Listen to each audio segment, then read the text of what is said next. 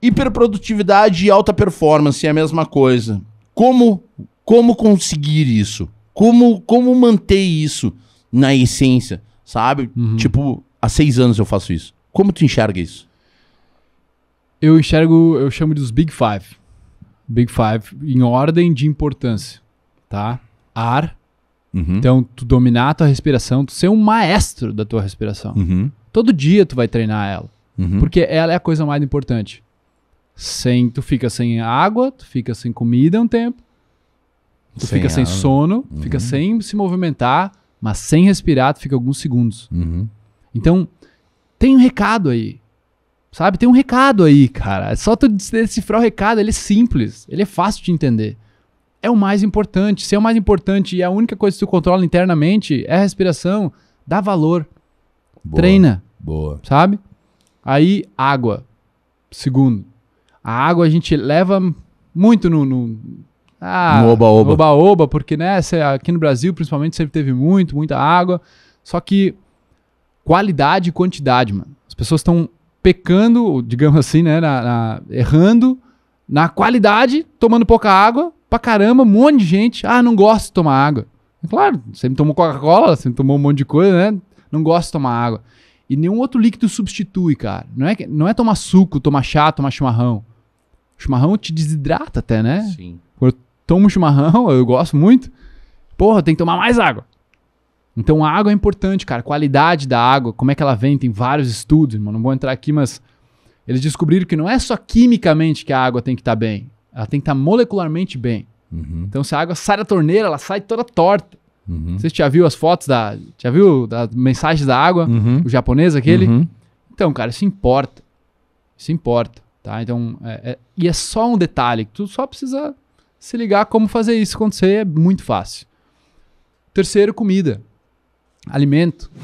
Alimentação. Aí tu pensa, pra, pra mim, né, de forma simples, eu só penso em comer coisas que me dão vitalidade. Uhum.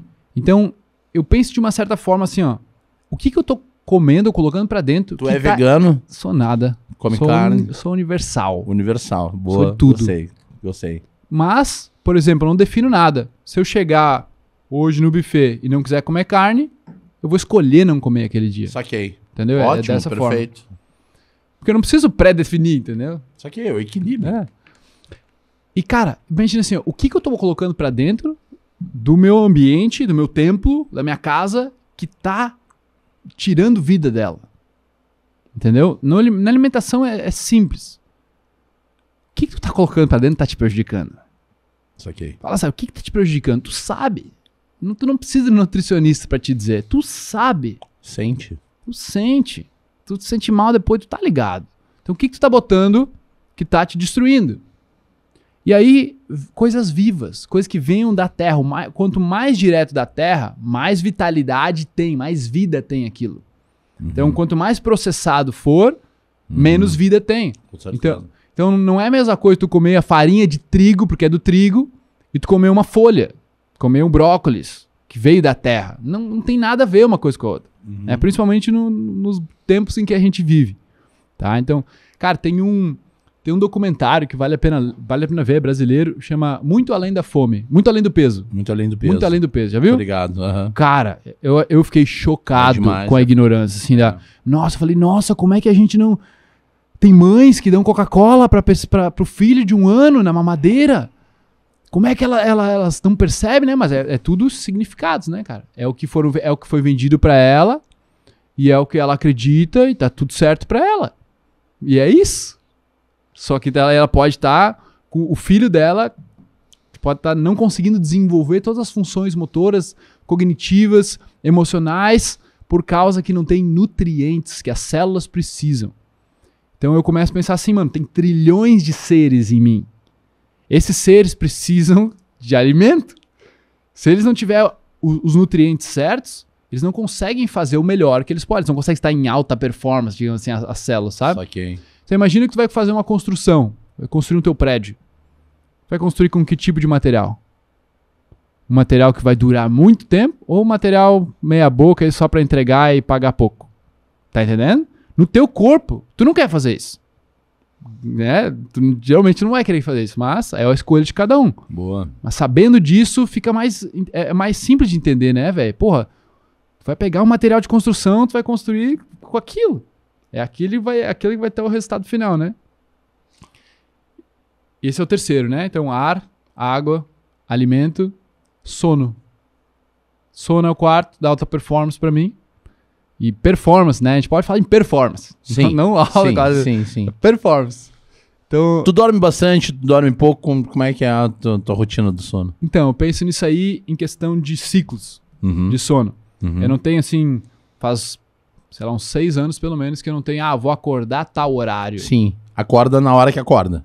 Não, também. Também não? Não. Eu, eu defino mais ou menos tipo assim, ó, eu vou dormir meia-noite. Aham. Então, se eu tô dormindo meia-noite, eu defino, cara, tô muito cansado, ou eu tô pouco cansado, tô, tá, tô, tranquilo e posso dormir menos. Então, ou eu durmo quatro ciclos de sono ou cinco ciclos de sono. Cada ciclo tem mais ou menos 90 minutos. Sim. Então, quatro ciclos dá seis horas. Então, ou eu durmo seis horas, ou se eu tô cansado demais, eu durmo sete horas e meia. Isso aqui. Então, não é sobre a hora, não é sobre que horas eu vou acordar. É sobre se eu for dormir a uma e eu preciso dormir sete horas e meia, eu vou acordar às oito e meia. Tá. Entendeu? Mas aí, como é que tu faz? Tu, tu te guia por despertador, mas e se tu acordar antes, É. ok? Ok. Eu tenho um o Smart Alarm, né? Aham. Que aí ele te acorda num. Quando tu estiver se mexendo, tiver um pouco mais agitado na cama, porque quer dizer que tu tá em sono leve. Sim.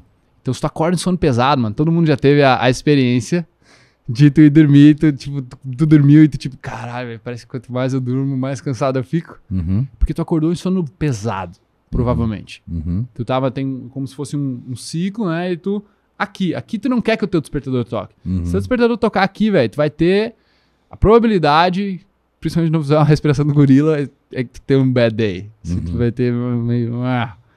Aí se tu acorda num pico onde tu tá mais tranquilo, tu já acorda desperto, assim, já acorda Boa. mais vontade, sabe? Boa, boa. Então é só meio que hackear isso aí, velho. Ver como é que tu funciona. Não é o que o Felipe faz. Sim, Ah, não, não, entendi, é, entendo. tipo, é entendo. É, é como mim? eu trabalho, mais ou menos. É.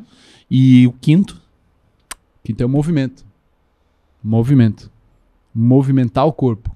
Como tu tá movimentando teu corpo, movimentando a coluna, movimentando as articulações, teu esporte, é, vai ser o quê? Vai ser academia.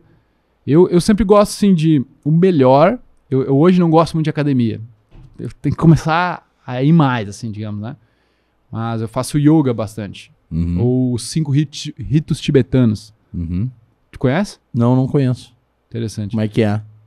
Ah, são cinco variações de posturas. De assim, posturas. Que os, que os, os monks lá da, do Tibete tinham como, como uma fonte da juventude para eles. Legal. Vamos jogar na tela aí um link aí pra quem quiser conhecer. É, tem um livro que eu tô, tô, tô olhando, chama A Fonte da Juventude, de Peter Kettler.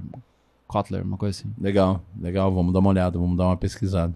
É bom porque aqui a gente fala joga na tela Ah. e eles jogam na tela. É, é massa.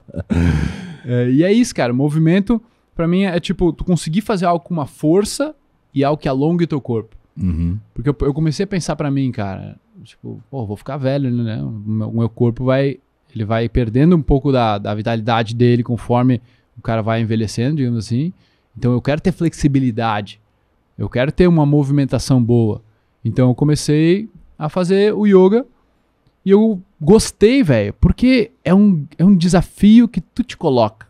Tipo assim, tu vai fazer um alongamento, tu controla a dor certo? Tu controla a intensidade da dor.